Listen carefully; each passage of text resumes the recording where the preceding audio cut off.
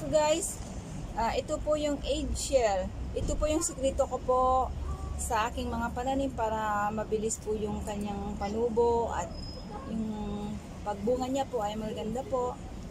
At yung ano rin po yung da, yung balat ng saging, ganun din po. Binibilad ko lang po at gugupitin ko po ng maliliit po. Tapos po, ito na po tayo. Lagay, lalagay ko na po siya.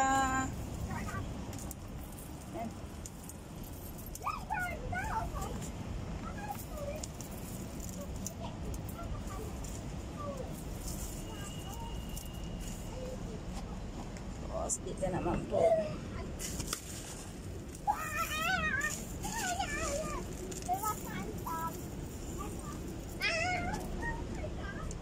Ayan po siya.